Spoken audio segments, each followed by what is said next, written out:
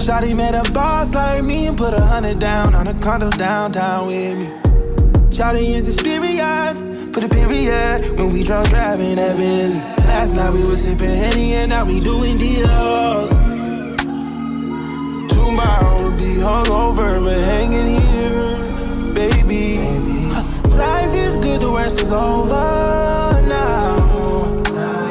Be love ain't never made more sense than right now. Okay, it's 4 a.m. and I'm about to turn these lights down. But first, I'm about to tell you how I'm.